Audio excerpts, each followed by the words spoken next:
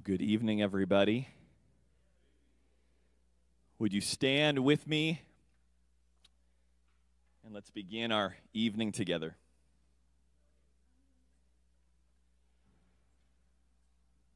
Praising the Holy Son of God.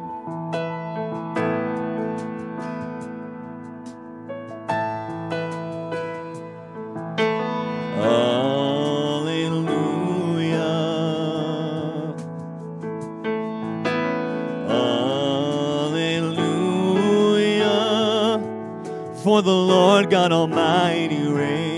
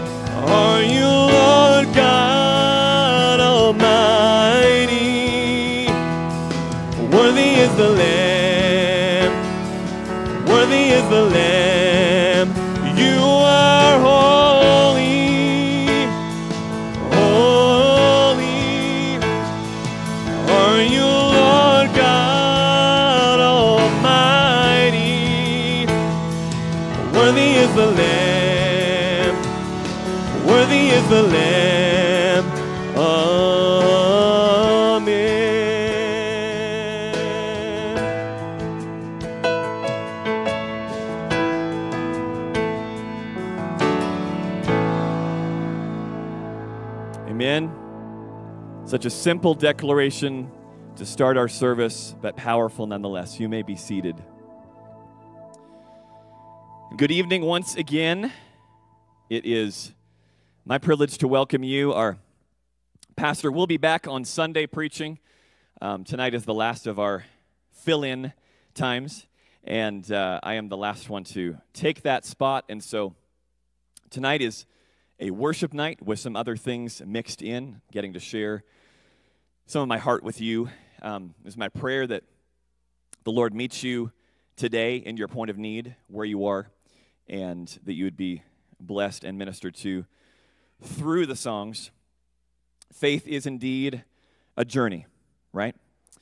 And I think of our, our brother Charles Billingsley, who was here in the fall, and he uh, when shares his story of how he was called to ministry, the Lord clearly spoke to him during a concert and said, You are called to preach, but your sermons will be in four minute or so snapshots, meaning songs, preaching through song and through music. And in many ways, I feel the same way. I enjoy the opportunity from time to time to preach at length. Um, but the songs I've chosen tonight are sermons in and of themselves, and um, you'll see the the theme and uh, how everything weaves together. There'll be several things you don't know, and some that you do.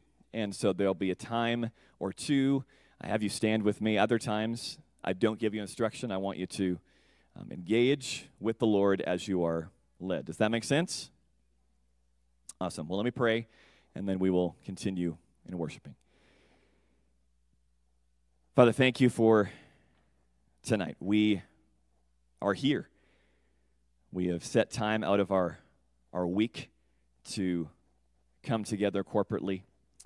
And we know that you always initiate worship and we always respond.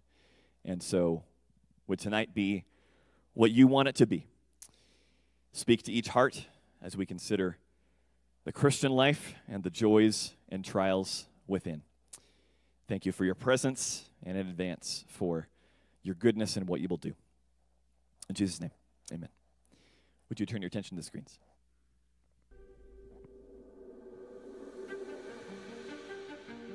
Have you ever wandered in the valley? Those moments where you feel lost, wounded, broken. You look around and see an endless journey, surrounded on all sides, cut off from the surface above. The loneliness is palpable. The fear is real. But even here, God remains. For nothing can separate us from His love, neither height or depth. Here in this chasm, in the midst of the struggle, we can find peace. We can find security. We can find hope for we are not alone. He will never leave us, and He will never forsake us. For He is God, the God of the valley.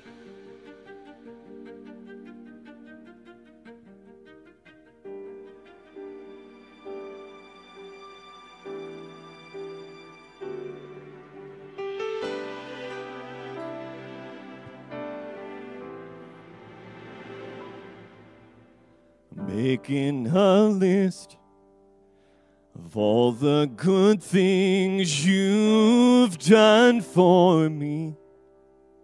Lord, I've never been one to complain, but right now I'm lost and I can't find my way. My world's come apart and it's breaking my heart. But it helps to know that your heart is breaking too. When I cry, you cry. When I hurt, you hurt. And when I've lost someone, takes a piece of you too. When I fall on my face, you fill me with grace. Nothing breaks your heart or tears you apart like when I cry.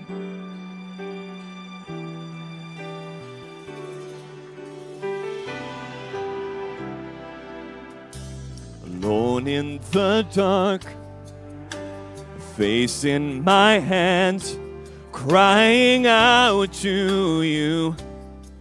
Lord, there's never been a time in my life so much at stake, so much to lose.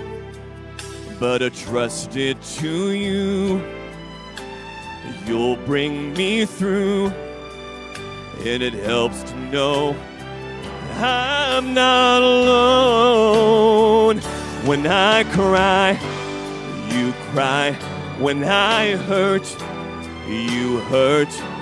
When I've lost someone, takes a piece of you too.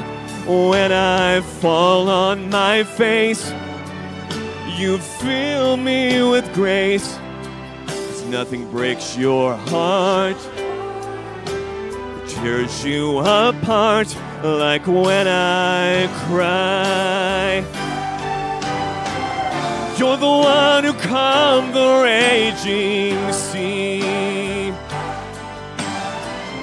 You're the one who made the blind to see. You look through all of heaven and eternity.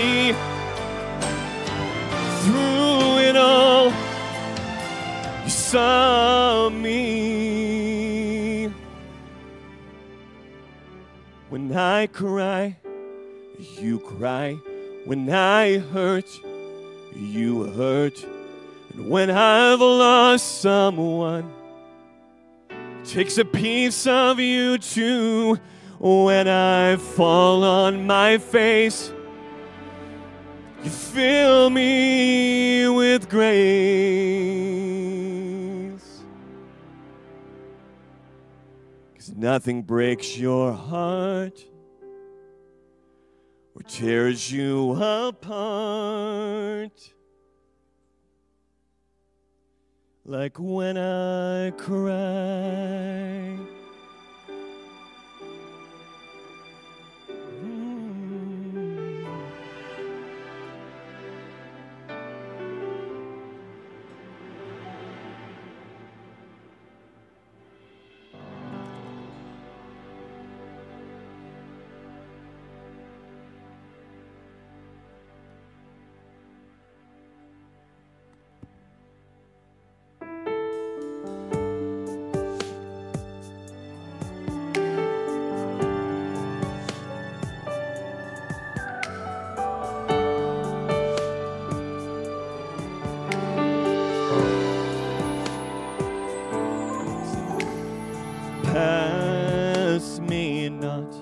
Gentle Savior.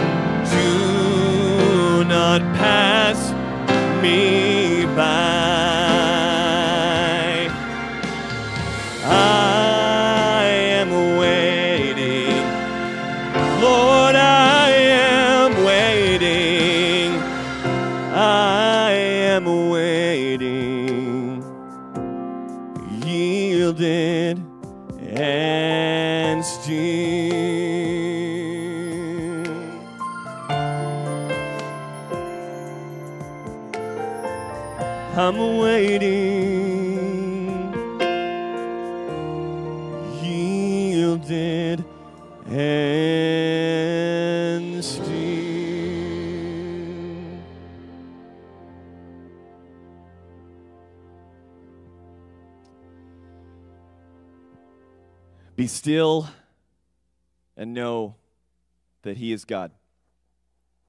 We read in His Word.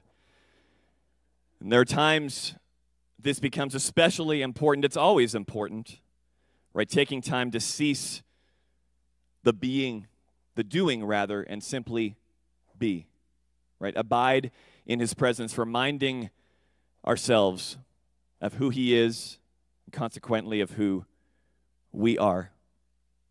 But there are times when this becomes especially important. A friend of mine used the phrase recently God's waiting room. And although I don't like the concept, I, I, appreciate the term, right? There are times when you're in your sanctuary and something laid before the Lord and you feel like you're, you're, you're stuck there, right? You're waiting on that answer, and it's not coming as of yet, right? God's waiting room, the journey of faith in that place. Tonight, I'm going to share a little bit more about my story that perhaps you haven't heard, in the hope that it's a reminder pastors are not exempt from trials. Right? We go through very similar things as you do, and God uses those things to shape and refine us throughout our journey. So I grew up without siblings. That was never my parents' desire, that was never my desire. They had a stillbirth before me, there was no biological kids after me. I tried to adopt, and at least a couple of those fell through. One of which I was not yet six. And they had flown to northern Canada to bring a baby boy home who was to be my little brother. A number of days after having him in our house, a lady from the adoption agency showed up at the door. And the birth mother had revoked, and he was taken. That makes an impact on you at that age. In addition, my parents had a marriage that I don't want to emulate. Grew up in what would be considered an unstable environment, a, a Christian home, but an unstable environment, not knowing when the next yelling bout would be, how long things would be good between them, and so on. So the immediate family remained the three of us. Fast forward to 2017, I was not yet 25, and I had the first of several losses that I would have inside of a multi year period. In January of 2017, my last surviving grandparent, my maternal, paternal grandmother, rather, um, was called home to be with the Lord. That was January of 17. 15 months later, my mom would be called home to be with the Lord. And with my mom, there was something going on in her head, putting pressure on her brain, um, which explained a lot. Four days before she died, there was a fluid buildup and explained why communication with her was very minimal and difficult in those last months. But those were 15 months apart. And so 2018 onward, my dad and I had a very good relationship, and that only deepened and increased as he was my last surviving immediate family member. He was battling cancer, multiple myeloma, which was attacking his spine.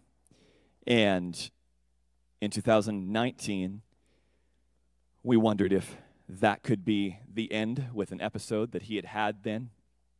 But God gave us more time together until 2022, two years ago, when he is there north of the border and I am here, separated because of COVID regulations.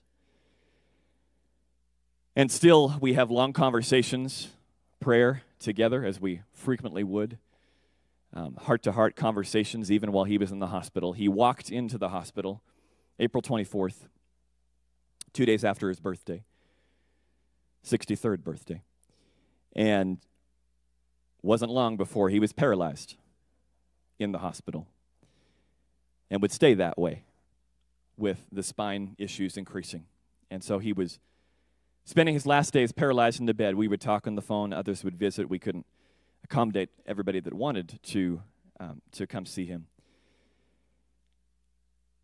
But our trials make an impact on us, right? Even more in some ways than our successes do. I remember feeling that this was being st- stripped from me right? My relationship with Him when that was the last thing I ever wanted. And He was called home, and I couldn't get there for some time. God is truth, right? He is a person. His word, his written word is truth, but so is the living word truth. He is the absolute standard, and I'm so grateful for that. But even so, he is not distant. Let's go to our first scripture passage tonight. In Hebrews 4, we read, Seeing then that we have a great high priest who has passed through the heavens, Jesus, the Son of God, let us hold fast our confession. For we do not have a high priest who cannot sympathize with our weaknesses, but was in all points tempted as we are, yet without sin. Let us therefore come boldly to the throne of grace, that we may obtain mercy and find grace to help in time of need. So we have a God tempted in every way, yet without sin, identifying with our weakness. He is near in that waiting room, right, in our sanctuary, in the moments of the storm and the trial. He is near, He is there waiting with us. I think of the words from a Casting Crowns song called Just Be Held. And one of the lines that really resonated and stuck with me since it released is if your eyes are on the storm, you'll wonder if I love you still. But if your eyes are on the cross from God's perspective, you'll know I always have and I always will. See, in those times of trial, we naturally can focus on the circumstance that is causing us the pain. And if we're not careful, that's when poor theology is formed. Because we go down the destructive trail of, well, maybe I am alone, right? Maybe nobody cares. Maybe I have sinned, and this is why this is happening in my life. All these things, right? And so We see in Hebrews 4, he identifies with us. Yet, we are always to keep the cross in the forefront of our minds. Later in the book, Hebrews 12 follows the Hall of Fame chapter, or the Hall of Faith um, of those believers who've gone before us, and we read this. Therefore, we also, since we are surrounded by so great a cloud of witnesses, let us lay aside every weight and the sin which so easily ensnares us, and let us run with endurance the race that is set before us, looking unto Jesus, the author and finisher of our faith, who for the joy that was set before him endured the cross, despising the shame, and has sat down at the right hand of the throne of God. Verse 3 is where I want to focus. For consider him who endured such hostility from sinners against himself lest you become weary and discouraged in your souls. Right? So, keeping our eyes on the person as our focus rather than the trial, lest we become weary and discouraged. Right? When we remember, He identified with us, He walked with us, He knows our pain. And that should bring us comfort when we think of the cross and all that He endured for us. If we forget that, we can easily become weary and discouraged. But we're to keep our eyes on the cross, even in the storm. And then our emotions should follow, the lies should dissipate, right? That we are not alone. He is with us, He has a plan greater and beyond what we can see. As we continue to worship, let's sing another hymn reminding us of who God is. Be still, my soul.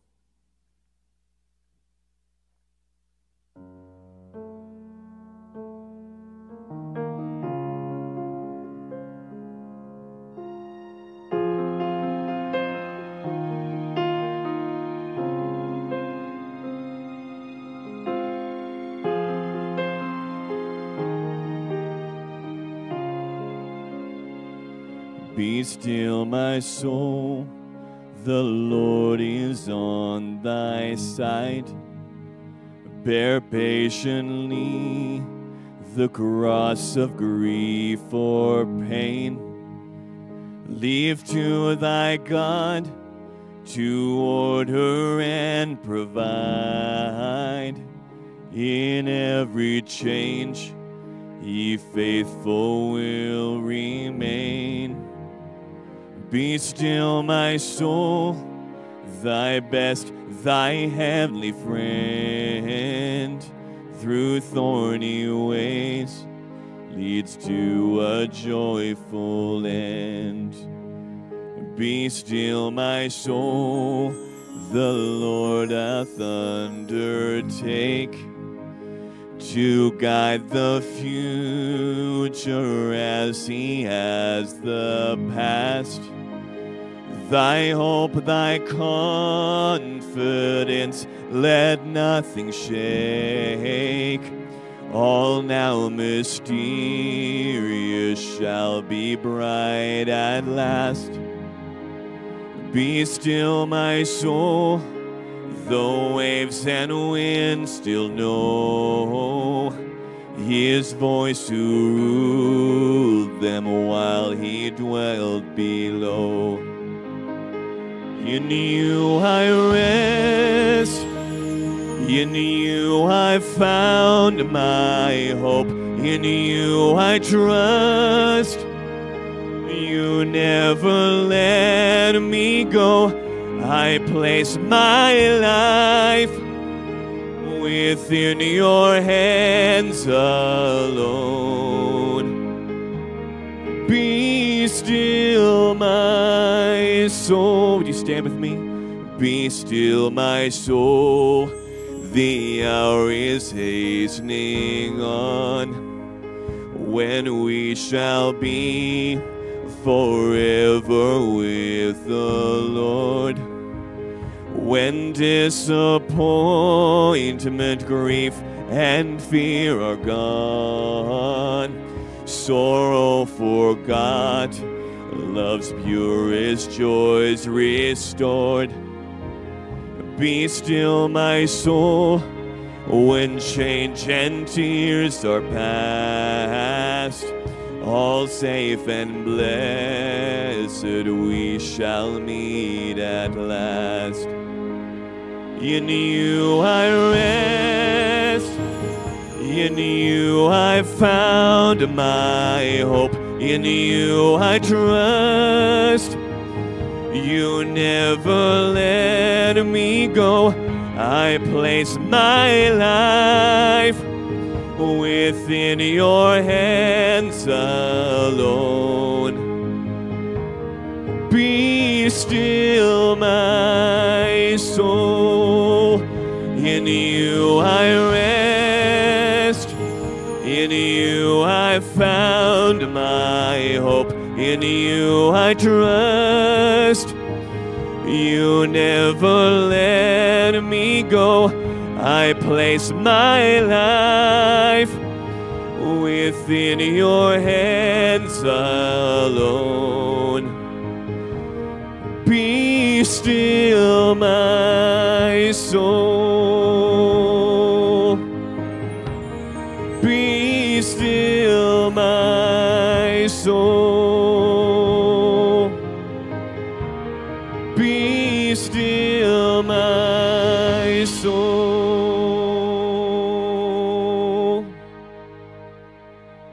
So, together, surrender your burden to Him tonight. Lay it down. We offer it to you, Lord, so you may continue to shape and refine us and teach us more of who you are as we walk forward. In Jesus' name, amen. You may have a seat. So I know some of what we've talked about is heavy stuff. But the reality is, life is heavy, right? We, we walk through a lot of things on a daily basis. We, we bear our cares when we shouldn't, right? Later in Scripture, the Lord tells us to cast all our care on Him, for He cares for us, right? So I want to take us to the point of hope, remembering that He is always at work, even in that waiting room. Even with the losses, and my story is what it is, I'm so overwhelmed with gratitude at what God has done in and through me. My, my parents, I believe both of them at different times, had said and realized they wanted to give me and impart more to me than they did, but they saw that God was doing something greater than them. God's hand was on my life, and it was a testament of God's grace.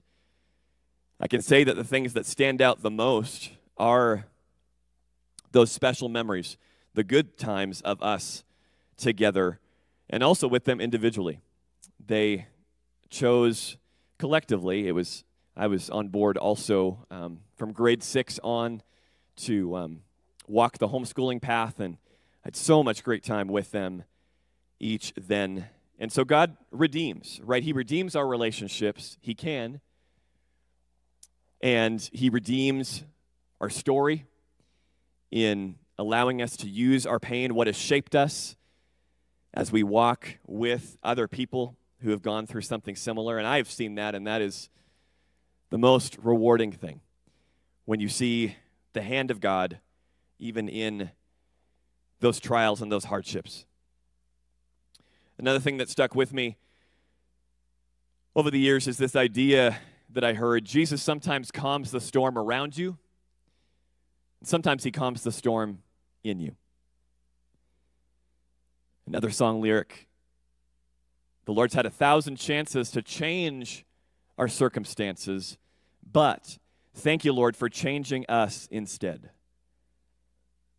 Again, his master plan of sanctification, of leading us on the journey of faith in those times of trial.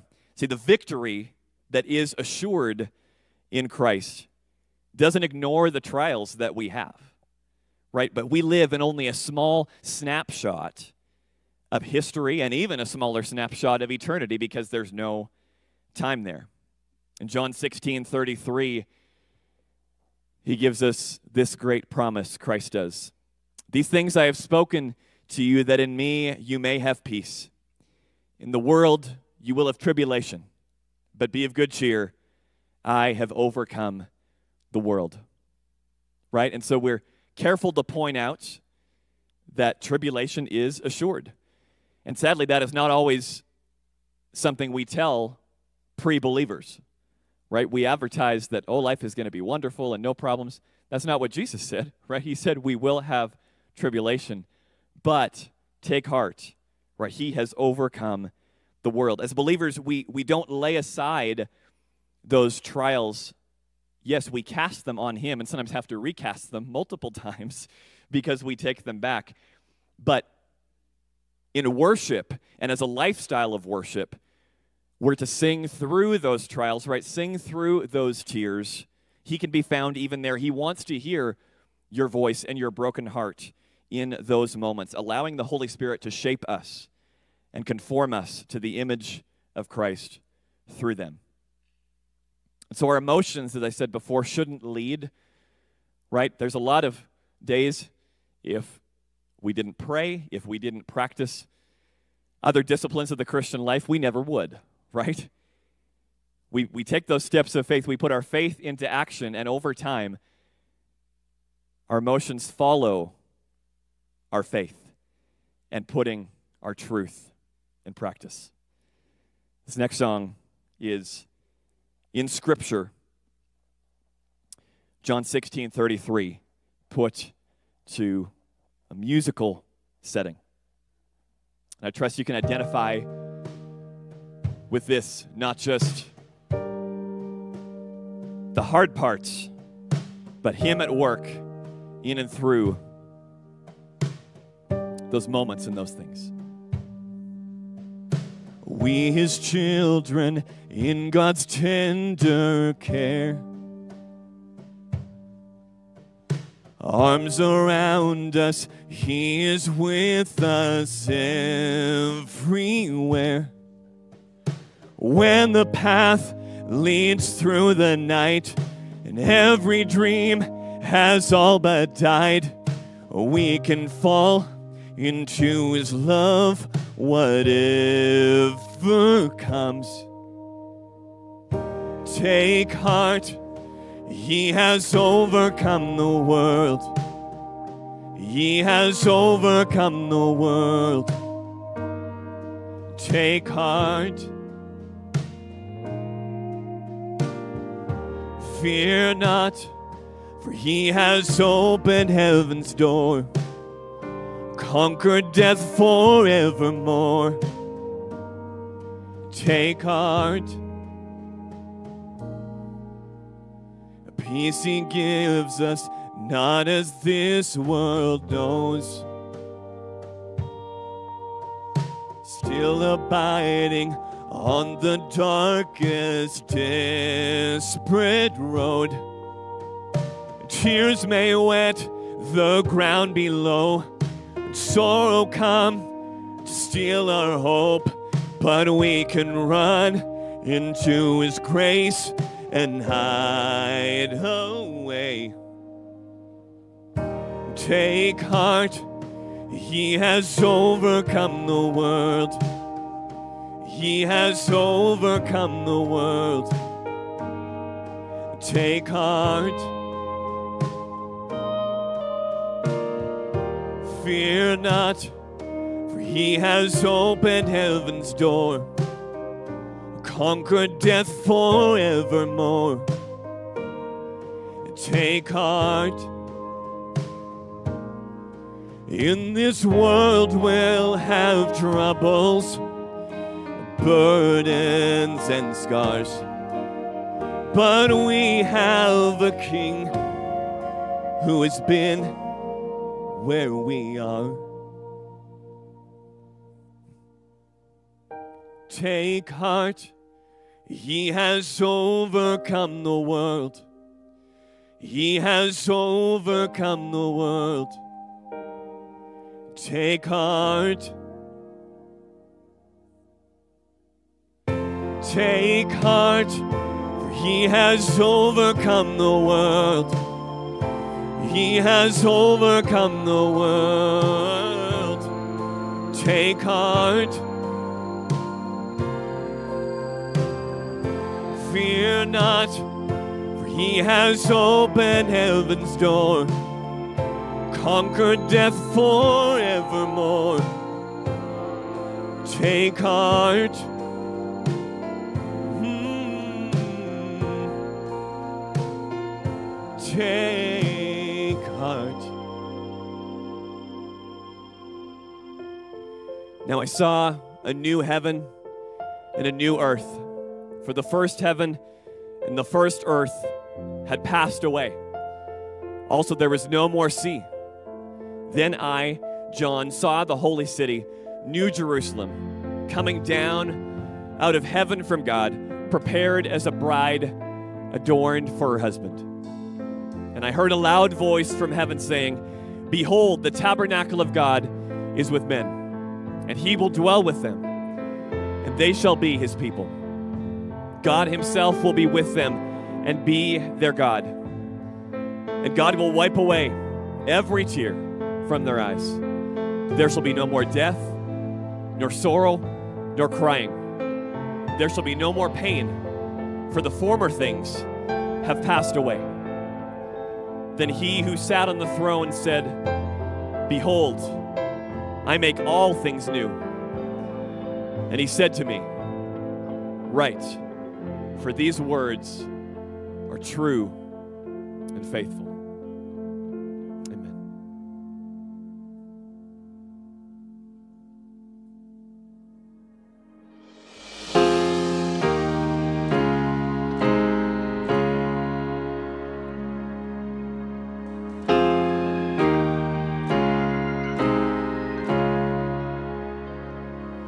You made a covenant signed by the blood that still speaks. And now I'm forgiven, I'm called righteous, I'm made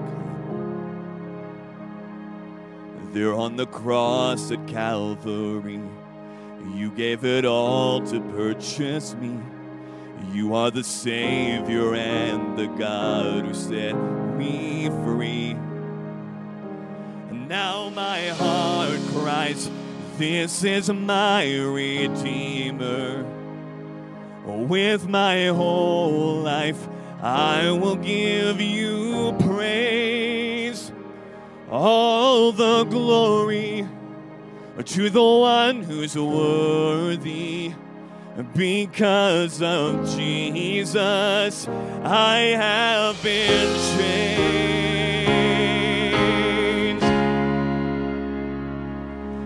Made a way for me to enter into your holy place forever. And now I'm hid and I am covered. I've found peace. Into your likeness, you transform me, making me holy like you're holy. No longer I who live, but Christ who lives in me. Now my cries, This is my Redeemer. With my whole life, I will give you praise. All the glory to the one who's worthy. Because of Jesus, I have been changed. You bring freedom to the captives, good news to the poor, healing to the broken, joy to those who mourn. You turn ashes into beauty, the ruins you restore.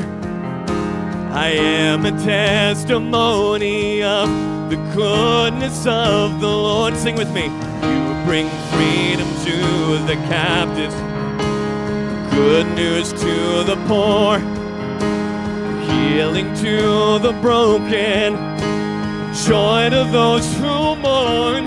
You turn ashes into beauty, the ruins you restore. I am a testimony of the goodness of the Lord. Now my heart cries, This is my Redeemer. With my whole life, I will give you praise. All the glory to the one who's worthy because of Jesus, I have been changed. Because of Jesus, I have been changed.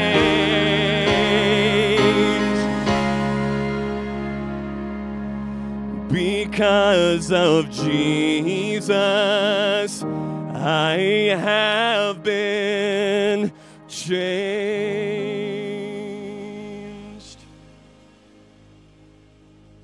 Amen. Now my heart cries, This is my Redeemer. It is so wonderful to remind ourselves of what He's done and also what is yet to come. And that final passage of Scripture tonight is Second Corinthians 1. And salvation has these three parts, right? Past, present, and future. We've been saved from the penalty of sin in the past, right? That's done. By God's grace in the present, we can be saved from the power of sin over us. And in the future, we will be saved from the very presence of sin. Praise the Lord for that. Amen. And so this verse encapsulates this so well. It reads, Yes, we had the sentence of death in ourselves that we should not trust in ourselves, but in God who raises the dead, who delivered us from so great a death, and does deliver us, in whom we trust that he will still deliver us. Right? And that's the hope for the waiting room times. Lord, I, I trust that you will still bring an answer this side of glory as I pray in accordance with your word, as I align myself by the Holy Spirit with who you are and praying in faith in this circumstance. But even so, one day there will still be a deliverance. And oh, I long for that day when we will be delivered from the brokenness all around us, right? Which is a consequence of our sin to begin with. But God in His goodness is there in the beauty, in the brokenness, bringing beauty from the ashes. With my whole life, I will give you praise. So tonight we have one more song, which again may not be um, familiar. This is a favorite faithfulness of God song to me as we think about the past and the present, the battlefield, and, and the future. His faithfulness will always prevail and carry forward. And so, as you get this, join with me and sing along.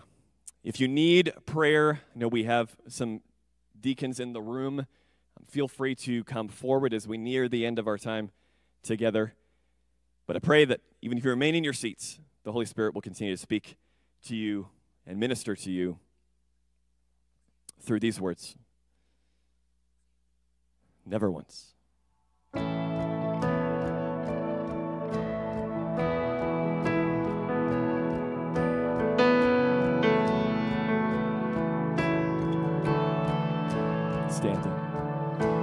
Standing. On this mountain top, looking just how far we've come, knowing that for every step you were with us.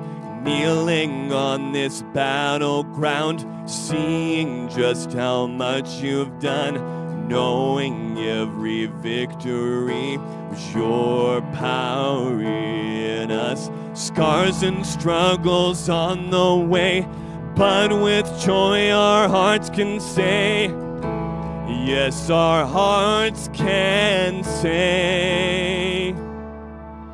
And never once did we ever walk alone. Never once did you leave us on our own. You are faithful, God. You are faithful. Kneeling on this battleground, seeing just how much you've done, knowing every victory is your power in us. Scars and struggles on the way, but with joy our hearts can say, Yes, our hearts can say. Never once did we ever walk alone. Never once did you leave us on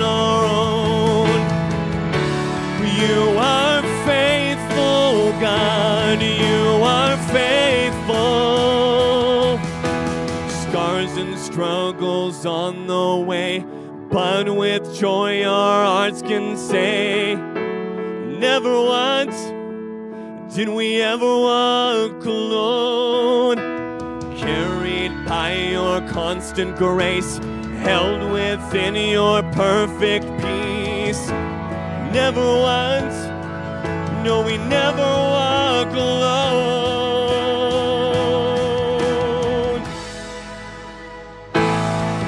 Never once did we ever walk alone.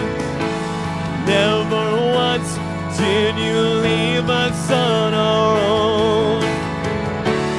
You are faithful, God. You are faithful. Every step we are breathing in your grace. Be breathing out your praise. You are faithful, God. You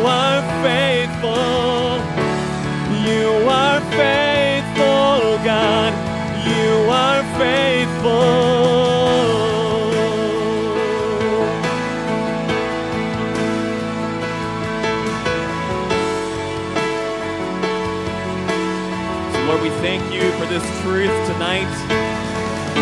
You are faithful, God. You are faithful. You are faithful, God. You are faithful. You are faithful, God. You are faithful.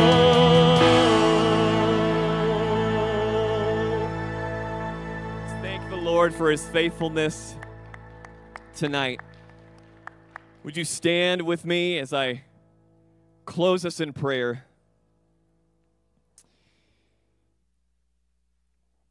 Father, you are indeed faithful. You are worthy of our praise, even in the fire.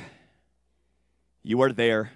You are refining us. You are doing something far beyond what we can see to come out one day as gold. The sanctification complete when we see you face to face and forever praise you with your scars still remaining as a reminder of who got us there. God, as often as we need, may your surrender, our trial, may we also choose joy and choose to praise you anyway, even when it doesn't make sense. I lift up all the situations represented in this room, and we pray that even today and tonight you would work and you'd bring encouragement through those things. We love you. Thank you for the joy of community and being together in this place tonight. In Jesus' name we pray. Amen. Let's close with the doxology, shall we? Praise God from whom all blessings flow. Praise him, all creatures here below. Praise him above the heavenly host. Praise Father, Son, and Holy Ghost. Amen. Amen.